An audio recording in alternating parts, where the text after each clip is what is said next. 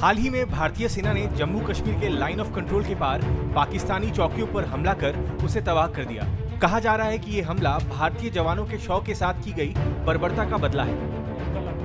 हालाँकि army headquarter ने media में पाकिस्तान के बंकर नष्ट करने वाले वीडियो पर बयान जारी कर कहा है कि ये अप्रैल 2017 का है और पुंछ सेक्टर में किए गए ऑपरेशन का है। सेना का कहना है कि 1 मई 2017 को पाकिस्तान द्वारा कृष्णा घाटी सेक्टर में दो जवानों के साथ बर्बरता का इस वीडियो से कोई लेना देना नहीं है।